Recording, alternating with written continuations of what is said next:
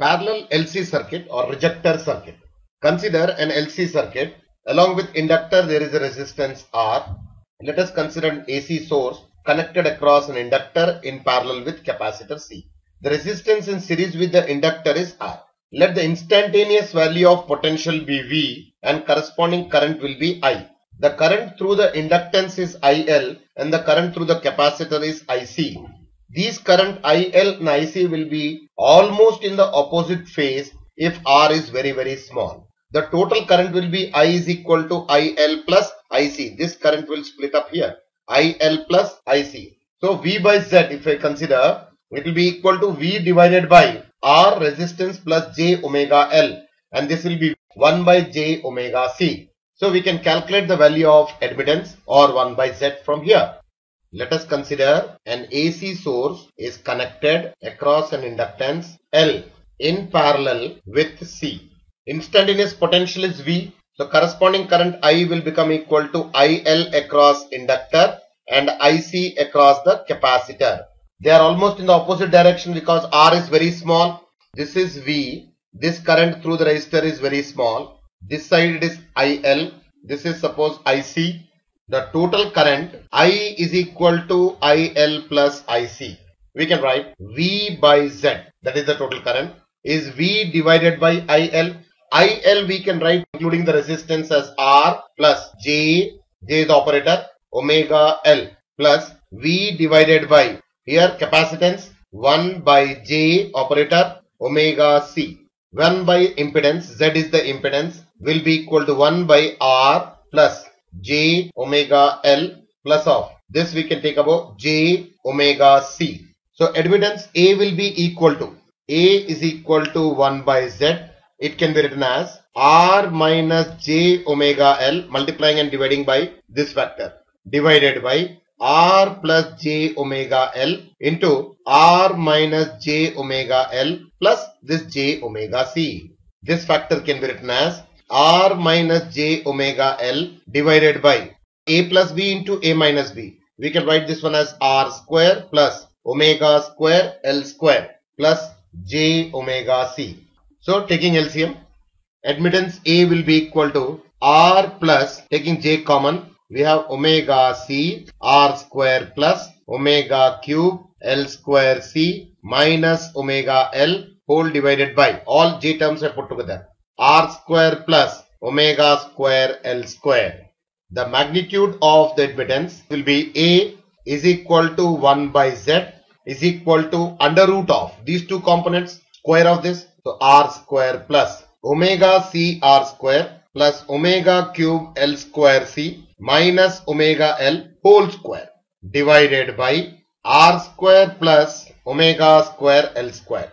This will be the total admittance. For resonance, I will be in phase with V. If J of A becomes equal to 0, then this component here should be equal to 0. For resonance, I will be in phase with the capital V. If J component of A becomes 0. That means this component should become equal to 0 or we can write omega C R square plus omega cube L square C minus omega L is equal to 0 or omega is equal to omega naught we can call this as resonant frequency is equal to under root of 1 by LC plus R square by L square. This is in the case of resonance. So a parallel LC circuit for resonance. So at resonance, remember the impedance across this will be maximum and it is called the dynamic resistance which we can substitute. At resonance, Z will be maximum.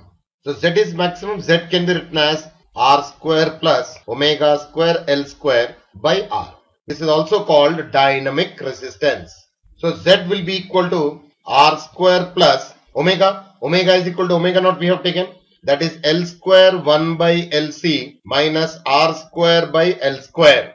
This is omega square value divided by R. Since we know that omega is equal to omega naught for resonance condition, it is equal to under root of 1 by LC minus R square plus L square. So in place of omega square, I substituted this value 1 by LC minus R square by L square for getting the dynamic resistance. What we will get Z from here?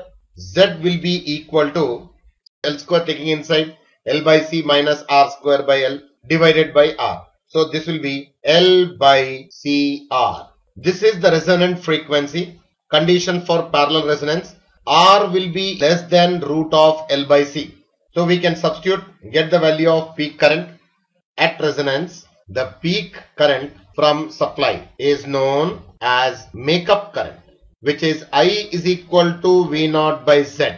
That is V naught divided by L by CR. So I will be equal to CR V naught divided by L. For value of LCR and omega, satisfying the equation omega is equal to under root of 1 by LC minus R square by L square, the reactive component of A is real. At such maximum impedance, the current in the circuit is minimum. Thus, parallel circuit does not allow this frequency from the source to pass through the circuit.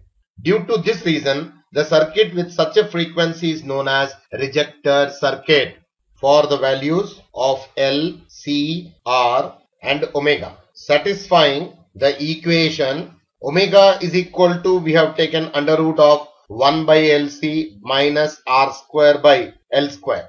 The reactive component of A is real the reactive component of capital A is real. At such a maximum impedance, the current in the circuit becomes minimum. At such a maximum impedance, the current in the circuit is minimum.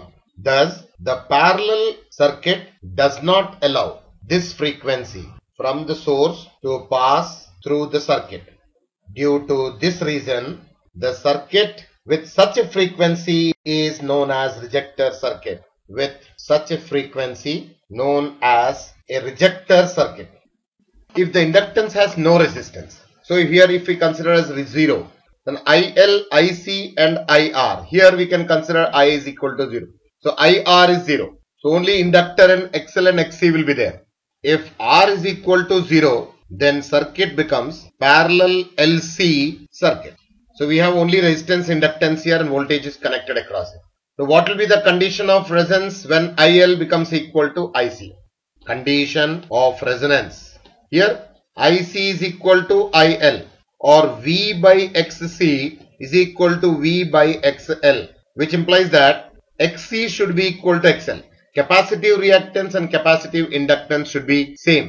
At resonance current I in the circuit is equal to 0 and the impedance is infinity resonant frequency will be nu naught is 1 by 2 pi root LC.